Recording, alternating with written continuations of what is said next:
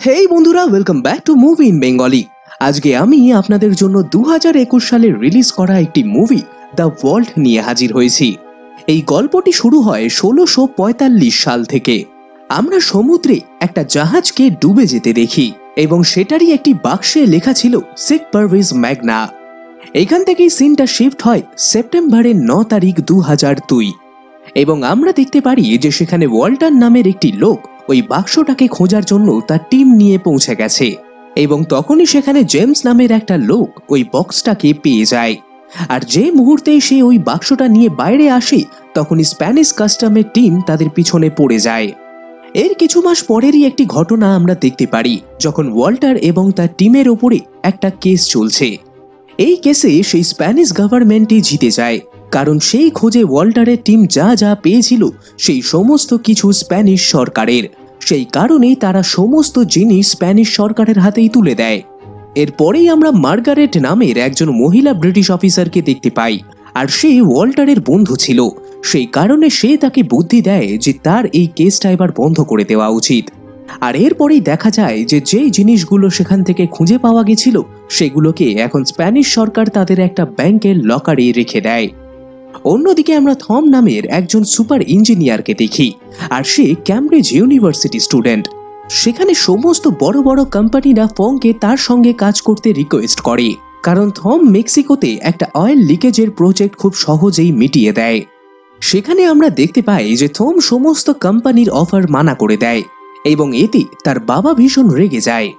সেখানে থম যখন তার বাবাকে বোঝাচ্ছিল, তখনই তার ফোনে একটা অজানা ব্যক্তির মেসেজ আসে এবং সেই ব্যক্তিটা থমকে একটা আর্ট গ্যালারিতে ডেকে পাঠায়।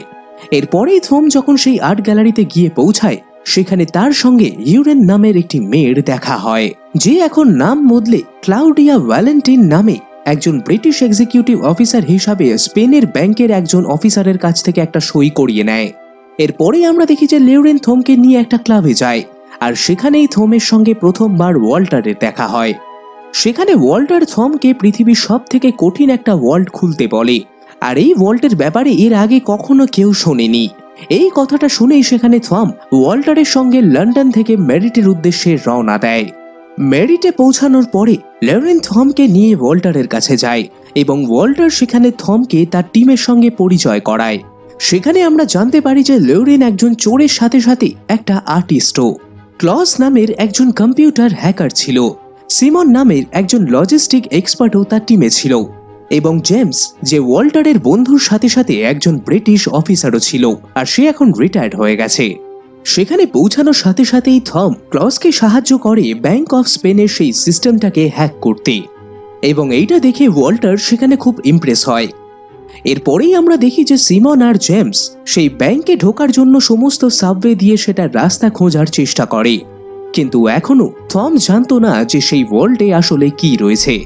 এরপরেই ওয়াল্টার থমকে পনেরোশো শতকের স্যার ফ্রান্সিস ওয়েডের ব্যাপারে বলে।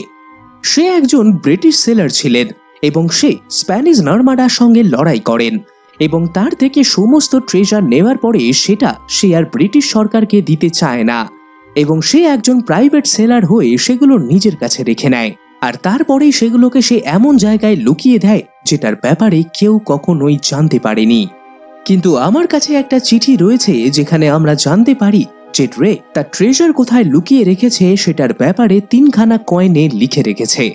এবং সেটা সে সবসময় নিজের বক্সে রাখত। আর এখন আপাতত সেই বাক্সটা ওই ওয়াল্টের ভেতরেই বন্ধ করা রয়েছে। এবং সেই বক্সের ওপরেই লেখা রয়েছে, সিক পারভেজ ম্যাগনা। এবং এই কথাটার মানে হলো যে যে কোনো বড় কাজের শুরু সবসময় ছোট জিনিস দিয়েই হয়। ওয়াল্টার বলে যে ওই ট্রেজারটাকে আমি সকলের সামনে আনতে চাই, কারণ এটাই আমার প্যাশন সমস্ত ঐতিহাসিক জিনিসগুলোকে আমার খুঁজতে ভালো লাগে। আর এরপরেই ওয়াল্টার থমকে ব্যাংকে ঢোকার তার প্ল্যানিংটা জানাতে শুরু করে। ওয়াল্টার এটা জানায় যে সেই ব্যাংকে চারিদিকে সেন্সার ভর্তি এবং তাদের একটাও যদি ভুল হয়, তাহলে সেই ব্যাংকের গার্ড সহ স্প্যানিশ আর্মিরা তাদেরকে গুলি করে শেষ করে ফেলবে। এবং এই মুহূর্তে ব্যাংকের চিফ সিকিউরিটি অফিসার গোস্তাগো নামের একটা লোক, আর সে স্পেনের আগে অ্যান্টি টেরারিস্ট টাস্ক ফোর্সের একজন জেনারেল ছিলেন। ওয়াল্টার এরপরেই থমকে সেই ওয়াল্টের ভেতরের একটা দৃশ্য দেখায়। এবং এটা বহু বছর আগে সেখানকার এক এমপ্লয়ি তুলে রেখেছিল। এরপরেই সেখানে ওয়ার্ল্ড বলে যে ভেতর অবধি পৌঁছাতে গেলে আমাদের এই গেটটা হয়ে পরের গেটটা অবধি পৌঁছাতে হবে। এবং সেটার জন্য আমাদের দুটো চাবি আর গুস্তাভোর ফিঙ্গার প্রিন্ট লাগবে। আর এইগুলোকে লরিনা জোগাড় করে নেবে। কিন্তু এই সিস্টেমটাকে হ্যাক করার জন্য আমাদের দুটো জিনিস সলভ করতে হবে। এরপরেই আমরা দেখি যে সিমন সেই ব্যাংকের ক্লিনিং সার্ভিসে ফোন করে অ্যালার্মে কিছু প্রবলেম আছে বলে তাদের শিফটটা ক্যান্সেল করিয়ে দেয়। এবং পরের দিনকেই থমকে সঙ্গে নিয়ে সে ওই ব্যাংকেই পৌঁছে যায়। অন্যদিকে আমরা লরিনাকে দেখি যে এখন ক্লডিয়া সেজে সেই ব্যাংকে যায় এবং খুব চালাকি সহকারে সে একটা বোতলে গুস্তাবোর ফিঙ্গারপ্রিন্ট নিয়ে নেয়। এরপরেই আমরা ক্লসকে দেখি যে সিকিউরিটি ক্যামেরা হ্যাক করিয়ে সিমান্সকে ভেতর অবধি পৌঁছে দেয়। এবং সেখানেই তারা একটি ডিভাইস লাগিয়ে সেই ব্যাংকের সিকিউরিটি সমস্ত সিস্টেমকে হ্যাক করে ফেলে। অন্যদিকে আমরা দেখি যে লরিনকে একটা লোক চেয়ারম্যানের অফিস অবধি পৌঁছে দেয় এবং সেখানে ক্লজ লরিনের একটা লুপ ভিডিও ক্যামেরায় চালিয়ে দেয়। আর সেখানে গুস্তাফো তার আসল চালচলন দেখতে পারে না। সেখানে ওই পেন্টিংটা পরিষ্কার করতে করতে লরিন একটা খোলা জানলা দেখতে পায় এবং তখনই সে একটা চাবি ওখান থেকে বের করে সেটাকে স্ক্যান করে ফেলে। আর সঙ্গে সঙ্গে সেটাকে সে আবার জায়গায় রেখে দেয়। এরপরেই আমরা থমকে দেখি যে একটা মিটিং রুমে চলে যায় যার ঠিক ওপরে ওই পেন্টিং রুমটা ছিল এবং সেখানে সে ম্যাগনেটিমিটার চালিয়ে সেটাকে স্ক্যান করতে শুরু করে। এরপরেই আমরা সেই মিটিং রুমে অনেক লোকেদের চলে আসতে দেখি আর অন্যদিকে লরিনকে অন্য একটা অফিসে নিয়ে আসা হয় এবং সে ওই দ্বিতীয় চাবিটাকে বের করে স্ক্যান করতেই যাবে কিন্তু তখনই ওই ম্যাগনেটিমিটারটা খারাপ হয়ে যায় আর ব্যাংকের অ্যালার্মটা তখনই ট্রিগার হয়ে যায়। অ্যালার্মের আওয়াজ শুনে সঙ্গে সঙ্গে লোকেরা এদিক ওদিক দৌড়াতে শুরু করে এবং তখনই গুস্তাভো সেই ব্যাংকের এন্ট্রেন্স এবং এক্সিট বন্ধ করে দেয়। এমনকি সেই আর্মিকেও সেই ব্যাংকের বাইরে ডেকে পাঠায়। এরপরেই আমরা দেখি যে ব্যাংকের চেয়ারম্যান এসে লরিনকে তার সঙ্গে নিয়ে যায় আর তখন তার হাতে সেই ভল্টের দ্বিতীয় চাবিটা ছিল এবং এই চাবিটাকে স্ক্যান করার পরে সেই অফিসে আবার ফেরত রাখতে হতো আর তাই থম সেখানে লরিনের সাহায্য করে ওই চাবিটা জায়গায় রেখে দেওয়ার জন্য। থম ওই চাবিটা আবার লকারে ফেরত রেখে দেয় এবং ক্লিনিং এজেন্টের নাম করে সেখান থেকে সে বেরিয়ে আসে। এর পরের দিনকেই আমরা দেখি যে থম সেই স্ক্যানিং এর সাহায্যে ভল্টের স্ট্রাকচারটাকে বোঝার চেষ্টা করে এবং তখনই সে জানতে পারে যে এই ভল্টটা একটা বড় জলের ট্যাঙ্কের নিচে রাখা রয়েছে এবং সেখানে আস্তে আস্তে এই ট্যাঙ্কটা একটা বড় চেম্বারের নিচে চলে যাবে এবং সেখানে আর ওই ভল্টের ভেতর থেকে তখন আর কেউ পালাতে পারবে না। থম সেখানে সকলকে এটাও জানায় যে যেহেতু এই ওয়ালটা পুরনো দিনে তৈরি করা হয়েছিল, সেই কারণে এর ভেতরে সেন্সার বলে কিছু নেই। কিন্তু এইটাকে মেকানিজম দিয়েই এমন তৈরি করা হয়েছে যে এখানে কেউ ফেসে গেলে আর বেরোতে পারবে না। এই ওয়ালটের ওপরে যদি একটু বেশি প্রেসার পড়ে যায়, সঙ্গে সঙ্গে ওয়ালটা জলের ভেতর ঢুকে সেখানেই ভেতরে বন্ধ হয়ে যাবে। সেখানে থম এই প্রবলেমটার সলিউশন খুঁজতে শুরু করে। অন্যদিকে আমরা জেমস আর সিমানকে দেখি যে একটা সুড়ঙ্গর মাধ্যমে সেই ওয়াল্টের নিচে ঠিক পৌঁছে যায়। সেখানে তারা ওই ওয়াল্টের মেঝেটাকে স্ক্যান করে ওয়াল্টারকে জানায় যে সেটাকে স্টিল এবং টাইটালিয়ামের সাহায্যে একটা শক্তপোক্ত ধাতুর দ্বারা তৈরি করা হয়েছে। এবং এইটাকে ড্রিল করে ওয়াল্ট অব্দি পৌঁছাতে তাদের কমসে কম পনেরোটা দিন লাগবে। এই কথাটা শুনে ওয়াল্টার সেখানে ভীষণ রেগে যায়। আর আমরা দেখতে পারি যে স্পেনে এখন ফিফা ওয়ার্ল্ড কাপ চলছে। আর সেটা শেষ হতে আর কিছুদিনই রয়েছে। সেই কারণে ওয়াল্টার একটা নতুন প্ল্যান বানায়। ওয়াল্টার এরপরেই বলে যে আমরা ব্যাংকের নিচে থেকে যাব না, বরং ওপর থেকে যাব। কারণ ফিফা ওয়ার্ল্ড কাপের ফাইনালের দিনকে ব্যাংকের সমস্ত ক্যামেরা ভিড়ের দিকে হবে। অন্যদিকে আমরা গুস্তাবকে দেখতে পারি যে ব্যাংকের ক্লিনিং এজেন্টদের মাধ্যমে জানতে পেরে যায় যে তাদের ব্যাংকে কেউ এসেছিল এবং তারা তাদের ক্লিনার নয়। এবং তখনই গুস্তাবু এই ব্যাপারে সেই ব্যাংকের চেয়ারম্যানকে জানায়। সে চেয়ারম্যানকে জিজ্ঞাসা করে যে ওই ওয়ার্ল্ডগুলোতে কি রয়েছে। তখনই চেয়ারম্যান বলে যে আমি জানি না সেই ব্যাপারে। অন্যদিকে ওয়াল্টারেরাও এখন এই প্রবলেমটার ব্যাপারে জানতে পেরে যায়। আর থমও এখন সেই ওয়ার্ল্ডটাতে যাওয়ার একটা রাস্তা খোঁজার চেষ্টা করছে। অন্যদিকে আমরা গুস্তাভকে দেখি যে ওই ওয়ার্ল্ডের ব্যাপারে জানার চেষ্টা করছে। আর তখনই সে জানতে পারে সান ফ্রান্সিসকো ড্রেকের সেই ট্রেজারের ব্যাপারে।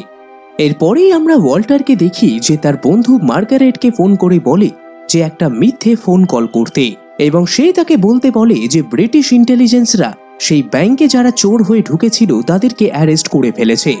কিন্তু গুস্তাবো তবুও চেয়ারম্যানকে বলে যে এই ব্যাংকের সিকিউরিটি আরও বাড়াতে। এরপরেই আমরা দেখি লরেন থমকে নিয়ে একটা ক্লাবে যায় তার সঙ্গে কিছু একা সময় কাটানোর জন্য। আর তখনই থমের নজর একটা বার টেন্ডারের ওপরে পড়ে। এবং সে দেখে যে সে ওই ওয়াইনের টেস্টটাকে একদম একই রাখার জন্য সিও টু আর নাইট্রোজেন গ্যাসের ব্যবহার করে। আর এরপরেই থম ফিরে এসে সকলকে নাইট্রোজেন গ্যাসের ইউজ বলে। সে বলে যে এইগুলোর মাধ্যমে আমরা যে কোনো জিনিসকে ফ্রিজ করে লোককে বোকা বানাতে পারব। কিন্তু এর জন্য আমাদের পাঁচশো লিটার নাইট্রোজেন গ্যাসের প্রয়োজন। আর এটার মাধ্যমে একজন ওয়াল্টের নিচে থেকে সেটাকে ফ্রিজ করতে পারবে। অন্যদিকে ওয়াল্টার একজন অ্যান্টিক ডিলারের কাছে গিয়ে হুবাহু সেই একই তিন রকম কয়েন কেনে এবং তারপরেই সে ওই কয়েনগুলোর ওপরে আসল কয়েনের মতনই কিছু খোদাই করায়। পরের দিনকেই আমরা দেখি যে ফিফার ফাইনাল ম্যাচ সেই কারণে ব্যাংক অফ স্পেনের সামনে অনেক ভিড় জমে যায়। আর এই ভিড়ের সাহায্য নিয়েই আমরা দেখতে পারি যে থম তার কিছু সঙ্গীতে নিয়ে সেই ব্যাংকের ছাদে পৌঁছে যায়। সেখানে তারা একটা কাঁচ কেটে এসি ডাক্টের মাধ্যমে সেই ওয়ার্ল্ডের কাছ অব্দি পৌঁছে যায়। আর তারপরেই একটা সিঁড়ির ব্যবহার করে তারা ওই ওয়ার্ল্ডের দরজার কাছ অব্দি পৌঁছে যায়। ক্লস থমকে সেখানকার কোডের হ্যাক বলে এবং তারপরেই সেটাকে খুলে তারা ওই ওয়ার্ল্ডের মেন দরজার কাছে পৌঁছে যায়। থম আর লরিন সেই দুটো চাবি এবং গুস্তাবোর ফিঙ্গারপ্রিন্টের সাহায্যে সেই ওয়ার্ল্ডটাকে খুলে ফেলে এবং সেখানেই স্যান ফ্রান্সিসকো ড্রেকের সেই বাক্সটা রাখা ছিল। অন্যদিকে আমরা দেখি যে সিমন্স নিচে দাঁড়িয়ে সেই ওয়ালটাকে নাইট্রোজেন গ্যাসের মাধ্যমে ফ্রিজ করার চেষ্টা করে। আর সেটা ফ্রিজ হওয়ার সঙ্গে সঙ্গেই তারা ওই বাক্সটাকে খুঁজতে শুরু করে। অন্যদিকে আমরা দেখি যে একটা পাখির কারণে সেই ব্যাংকের অ্যালার্মটা আবার ট্রিগার হয়ে যায় এবং সেখানে গুস্তাভো সেই ওপরের খোলা কাঁচের টুকরোটা দেখে নেয়। আর সে বুঝে যায় যে চোরেরা ব্যাংকে সিসিটিভি হ্যাক করে ফেলেছে। অন্যদিকে আমরা দেখি যে থম এবং লরিন সেই কয়েনগুলো পেয়ে যায়। কিন্তু তখনই ওয়াল্টার তাদেরকে জানায় যে সিকিউরিটি তোমাদের কাছে আসছে। তুমি নিজেদেরকে সারেন্ডার করে দাও, নয়তো তারা তোমাদেরকে শ্যুট করে দেবে। সেখানে জেমস সঙ্গে সঙ্গে তার বন্দুক লরিনের দিকে তাক করে ওই কয়েনগুলো চায় এবং সেখানে জেমসের এইভাবে পাল্টানোর রূপ দেখে সবাই অবাক হয়ে যায়। আসলে জেমস এখনও ব্রিটিশ সরকারের জন্যই কাজ করে। সেখানে আমরা দেখি যে নাইট্রোজেন গ্যাসের এফেক্ট শেষ হয়ে যাওয়াতেই সেই ওয়ার্ল্ডের দরজাটা বন্ধ হয়ে যায়, আর তারা তিনজনই সেখানে ফেসে যায়। এমনকি ওই ওয়ার্ল্ডের অ্যালার্মটাও তখন ট্রিগার হয়ে যায়। সেখানে অ্যালার্ম বাজার সঙ্গে সঙ্গেই ওই ওয়ার্ল্ডে জল ভরে যায়, আর তখনই জেমস লরেনের থেকে সেই কয়েনগুলো নিয়ে ওয়াটার হোলের মাধ্যমেই বাইরে বেরিয়ে আসে। থম তখনই জেনে যায় যে এই জলটাকে কি করে সে আটকাতে পারবে। তাই সে সিমান্সকে বলে যে ওয়ার্ল্ডের প্রেশার যত বেশি বাড়াতে পারবে যেন সে বাড়িয়ে দেয়। এর ফলে ওয়ার্ল্ড তখনই ফিল করতে পারবে যে তার ভেতরে জল ভরে গেছে আর তখনই জলটা বন্ধ হয়ে যাবে। এবং সিমান্স সেই খালি নাইট্রোজেনের সিলিন্ডারগুলোকে সেটার সার্ফেসের ওপরে রাখতে শুরু করে। অন্যদিকে আমরা একটা লোককে দেখি যে ওই হ্যাকিং ডিভাইসটাকে সিস্টেম থেকে সরিয়ে দেয়। আর তখনই সমস্ত ফুটেজ লাইভ হয়ে যায়। এমনকি ক্লজও আর সেই সিস্টেমের সঙ্গে কানেক্টেড থাকতে পারে না। সেই ভল্টের ভেতরে যেই ক্যামেরাটা লাগানো ছিল লরেনের সেটা ভাঙার আগেই গুস্তাবো তাদের মুখটা দেখে নেয়। আর অন্যদিকে সিমান সমস্ত খালি সিলিন্ডার সেই ওয়াল্টের ওপরে রাখার পরে নিজেও সেটার উপরে উঠে বসে পড়ে। এবং তখনই আমরা দেখতে পারি যে সেই ওয়াল্টে জল ভরা বন্ধ হয়ে যায়। এবং এর পরের মুহূর্তেই সেই ড্রেন পাইপের মাধ্যমে জলটা আবার বেরোতে শুরু করে। গুস্তাবো তার টিম নিয়ে সেই ওয়াল্টের কাছে পৌঁছে যায়। কিন্তু সেখানে সে কাউকেই খুঁজে পায় না। আসলে লরিন আর থম সেই ড্রেন পাইপের মাধ্যমেই খালি চেম্বারে বেরিয়ে গেছিল এবং তারা সেখানকার এসি ডাক্টের মাধ্যমে চেয়ারম্যানের অফিসের দিকে পৌঁছে গেছে। ওই ব্যাংকের সমস্ত গ্লাসই আসলে বুলেট প্রুফ কিন্তু চেয়ারম্যান যেহেতু ধূমপান করত, সেই কারণে সে তার একটা জানলা খুলে রাখত। সেখানে তারা ওই জানলাটার মাধ্যমেই বাইরে বেরিয়ে আসে এবং সেই ভিড়ের মধ্যে তারা নিজেদের লুকিয়ে ফেলে। সেই কারণে গোস্তাবো তাদেরকে আর খুঁজেই পায় না। এবং এর সাথে সাথে স্পেন ও নেদারল্যান্ডকে হারিয়ে সেই ওয়ার্ল্ড কাপটা জিতে যায়। পরের দিনকে ওয়াল্টার মার্গারেটের সঙ্গে দেখা করে, আর সে বলে যে, তুমি আমাকে ঠকালে।